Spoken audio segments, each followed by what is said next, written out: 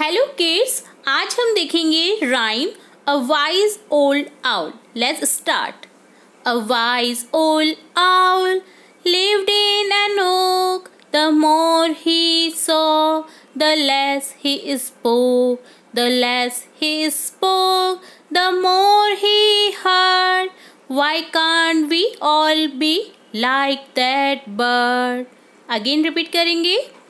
A wise old owl lived in an oak. The more he saw, the less he spoke. The less he spoke, the more he heard.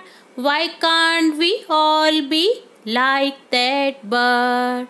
Why can't we all be like that bird?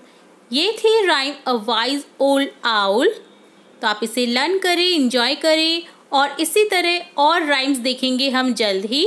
तो जुड़े रहें हमारे channel की साथ video को पूरा देखने के लिए धन्यवाद।